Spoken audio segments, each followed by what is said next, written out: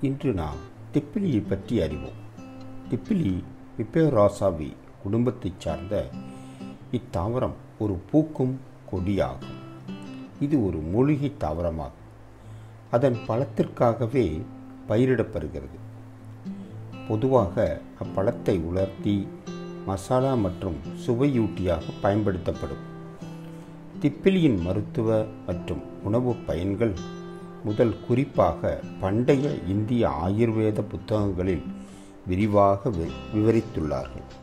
இந்த செடியிலிருந்து கிடைக்கும் விலகு கொல்கத்தாவிலிருந்து ஏற்றுமதியாகிறது. திப்பிலி செடியிலிருந்து எடுக்கப்பட்ட வேர் மூணு ஆண்டுகளுக்கு பிறகு கண்டந்திப்பிலி என்ற மருந்து பொருளாக பயன்படுகிறது. கனிகள் உதிராத பூக்கதிர் தண்டை உலர்த்தி அரிசி திப்பிலி என்ற பெயருடன் மருந்தாக பயன்படுத்துகிறார்கள்.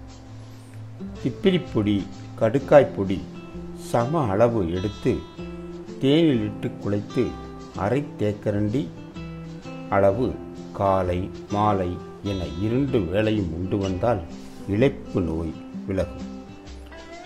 திப்பிலியை பொடியாக்கி ஒன்றுக்கு இரண்டு என்ற விகிதத்தில் வெல்லம் கலந்து உட்கொள்ள விந்து பெருகும். நெய்யுடன் கலந்து சாப்பிட ஆண்மை பெருகும். திப்பிலியை இடித்து பொடியாக்கி ஒரு தேக்கரண்டி அளவு எடுத்து சிறிது தேனுடன் கலந்து ரெண்டு வேளை சாப்பிட்டு வர இருமல் கபம் வாயு நீங்கும். செரிமானம் அதிகரிக்கும். நன்றி.